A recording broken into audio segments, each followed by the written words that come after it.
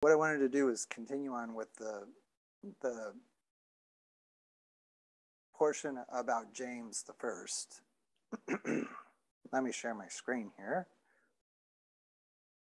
So we have the pilgrims who uh, form an underground church uh, in 1605 because of the religious persecution that they're facing.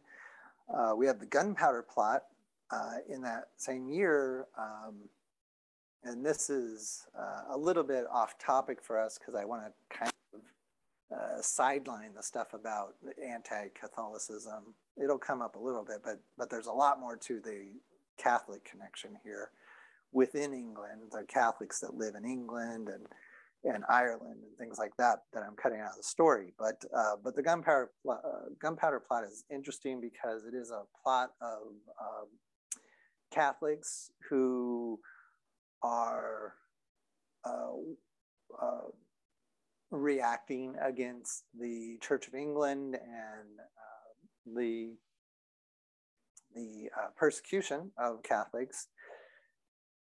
And, um, and a lot of Catholics are, are powerful people this time. And uh, the gunpowder plot is where there was actually barrels of gunpowder, lar- a large quantity of gunpowder stored beneath the chambers of Parliament and uh, the plot is discovered and, and, circumvented. But if it had gone off, it would have uh, killed many, many members of Parliament and would have been a huge uh, turning point in the history of England. As it was, uh, it turned out okay, but uh, but it is remembered even to this day. There's uh, even a song, "Remember, Remember," the fifth of November. Um, which is the date on which this was discovered. And um, if you're familiar, with, uh, Guy Fawkes is one of the. He was the guy that was actually going to light the fuse. He was was guarding the gunpowder, um, and um, uh, if you're familiar with those Guy Fawkes masks, uh, white mask with the pointy eyebrows, uh, that sometimes are worn um, at protests and things like that, more of a thing from like a, a decade ago. But uh, you still see him once in a while, and that's the Guy Fawkes mask. Uh, it all comes out of this history, and um, there's a, even a celebration, a yearly celebration in England, where people go out onto the street and have bonfires, and it's kind of like um, their version of Halloween. Um, you know, they don't dress up and everything the way that we do, but uh, but it's a time for just getting out in the street and partying a little bit in public, and um, it's all in remembrance and uh, of, of, this historical event. there is an anti-Catholic reaction, and we have these post-popish recusants acts, which um, make the penalties against Catholics and the degree to which they needed to conform a lot more stringent. And so we have an uptick in, in, in the uh, persecution of Catholics uh, along with the Puritans. And uh, right about this time, the Virginia Company is founded. This is another joint stock company showing the growth of the stock exchange and how rooted it is in colonialism. And the main accomplishment of the Virginia Company was to settle Jamestown, which is a city in Virginia. Virginia was a, a territory within North America and, um, and is you know, the state of Virginia now in the United States, um, named after the Virgin Queen Elizabeth. So Virginia comes from the Virgin Queen Elizabeth. And Jamestown, of course, is named after James. So that's founded in 1607. And then within 12 years, we have the slave trade uh, uh, taking root in the British colonies, um, which then creates the whole legacy of African American slavery in the United States. And, and as we saw before, African slave trade was already occurring in the Spanish colonies in the Americas. It just extended out to Jamestown once Jamestown became uh, well established and successful. Uh, there had been earlier attempts to settle Jamestown that failed. Uh, we have Captain Pouch's rebellion uh, in 1607. Captain Pouch uh, is his moniker, and he actually carried around a magical pouch that was supposed to protect people from bullets and things like that. Um, and they were occupying enclosed commons. So they would find newly enclosed commons and level, they're called levelers, they would level the hedges uh, that were around these enclosures. The way they would enclose them is they'd plant hedges around as fences. And the levelers that occupy this would, would cut down the hedges and make it level so that people could easily access it and, and use it for uh, common pur- purposes like grazing and planting things and whatnot. Uh, the pilgrims immigrate to Leiden, then that rebellion is put down very quickly, doesn't get out of hand or anything. Uh, pilgrims immigrate to uh, Leiden, so these are the pilgrims that end up on Plymouth Rock. Um, they go to Leiden in the Dutch Netherlands. So the Dutch Netherlands now are established as a haven for Protestants. Um, they're they're um, Protestant states, um, but but this is the era called the Golden Age, uh, the Dutch Golden Age, where it's not only a haven for Protestant refugees, but it's also a place of learning and art. The humanities um, are flourishing here in, in the Netherlands, and um, it's the most liberal and most free and and most uh, forward-looking place. Obviously, well established in terms of wealth. You have tulip mania that's about to take off, and things like that. So it's uh, it's really the heyday uh, of the the Netherlands, the, the, first heyday of the Netherlands, but maybe the historically the the the time that uh, is most significant, really, because there's a lot going on there. Um, in 1610, James proposes the Great Contract. Uh, this is a, an attempt to resolve chronic debts uh, uh, from of the crown.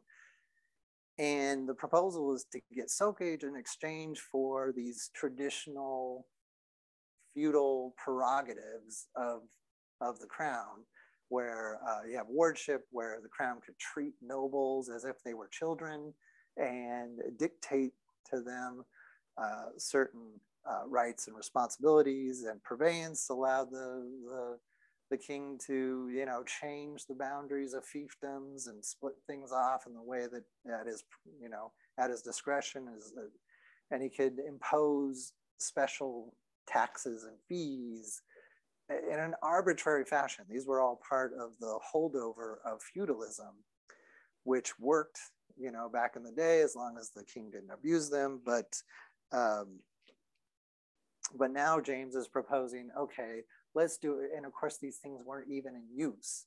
But he's like, instead of me having these these rights, which I never exercised because you guys would be all up in arms if I did, you just pay me a yearly fee so that I no longer have these rights. So you, instead of those feudal rights, you give me rent. Uh, but it is rejected by Parliament, probably because he had no real power to enforce those rights uh, well before this. Yeah, so th this is like uh, where we see the diminution of the power of the monarchy. James is selling off numerous baronetcies, uh, just selling off fiefdoms and making people nobles uh, for fee. And, and of course, were large fees. And so here we see how the class structure as a holdover from feudalism was kind of strange from our perspective. You know, somebody could be the most wealthy person in England, but they still were the lowest stratum of society in terms of power.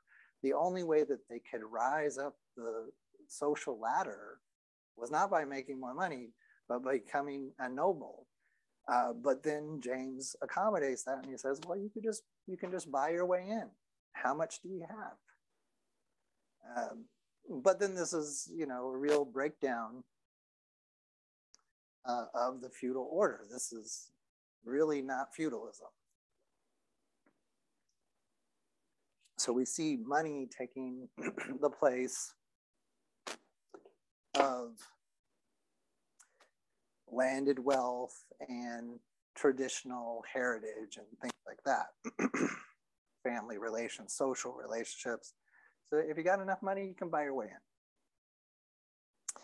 in. Um, and, and this all raises questions of the absolute monarchy.